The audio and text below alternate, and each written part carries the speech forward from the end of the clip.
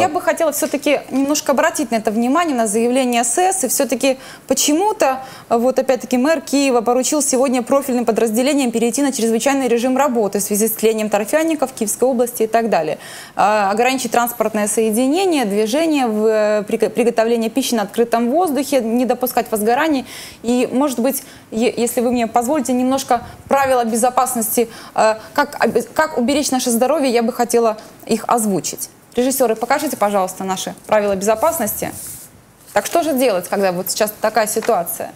А, Рекомендации по защите от задымления, которое возникает во время пожаров. По возможности оставить на некоторое время зону задымления, свести к минимуму пребывание на открытом воздухе, особенно утром. Не делать пробежек и прогулок. Спортсмены, воздержитесь, в общем.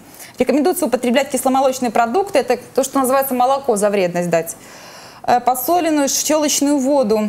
Ограничьте употребление сладкой газированной воды. Очень важно принимать поливитамины, если нет противопоказаний. При усилении запаха гари рекомендуется надевать вот такие вот э, защитные маски. Андрей, хочешь маску? У меня есть, смотри. Это надо было э, нашей журналистке Тане Ну да. сегодня дать, когда она будет ехать. Так, в помещениях лучше проводить влажную уборку как минимум раз в день, а оконные дверные проемы завешивать влажными тряпками или марлей. Несколько раз в день принимать душ, чаще промывать нос и горло морской водой. Правда, вот Таня не врет, першит горло и даже болит носоглотка.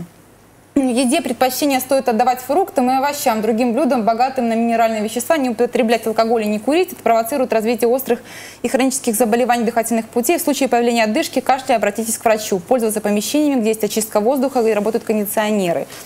Я- По другой версии, как версии кондиционерами пользоваться нельзя.